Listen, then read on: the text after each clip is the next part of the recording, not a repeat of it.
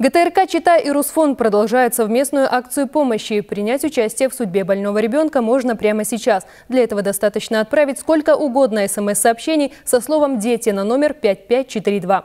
В вашей помощи нуждаются близняшки Алина и Ангелина Росляковы. Подробнее о заболевании девочек и о том, как им можно помочь в нашем сюжете. Если учиться два крыла, чтобы она летать могла – а Светку не повезло, у него одно крыло. Эти строки запали 13-летней Ангелине в душу. Она точно знает, что такое не повезло. Малышки, похожие как две капли воды, родились раньше срока. По воле природы они находились в утробе матери без околоплодных вод 32 часа. Поэтому при рождении обе получили диагноз гипоксия головного мозга. Когда семья готовилась отмечать первый день рождения близняшек, как гром прозвучал приговор врачей, приобретенный ДЦП начали заниматься. Полностью занимались. Исхода никакого не было. То есть все стояло на своем месте.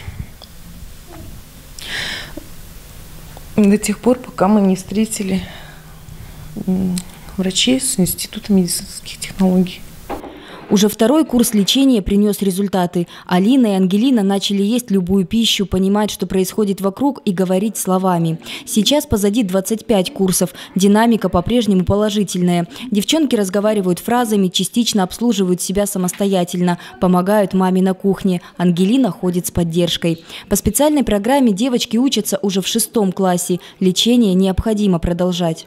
Планируется еще уменьшить тонус конечности, научиться самостоятельно ходить без поддержки и улучшить обучаемость, естественно, там расширить кругозор, память.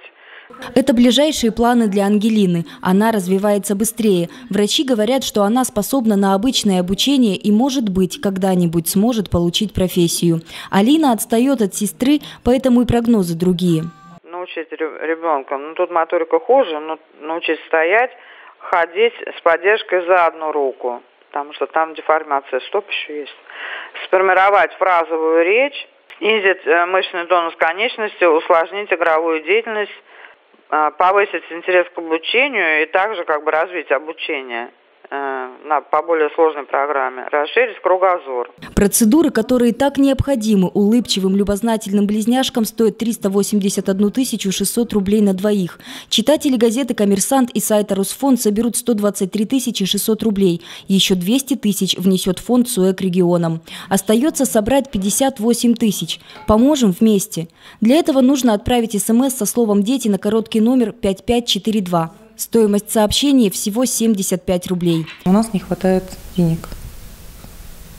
Как бы недостаточно средств для последнего, ну, вот этого вот лечения, которое очередного. Ну, вот я хотела бы обратиться к зрителям, кто неравнодушен к больным детям,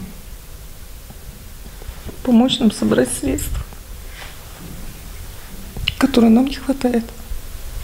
Владельцы айфонов и телефонов на платформе Android теперь могут перевести пожертвования через мобильное приложение. Другие способы для оказания помощи можно выбрать на сайте Русфонда. А у тебя есть самая заветная мечта? Ходить. Елена Бронникова, Татьяна Лабузная, Вести, Чита.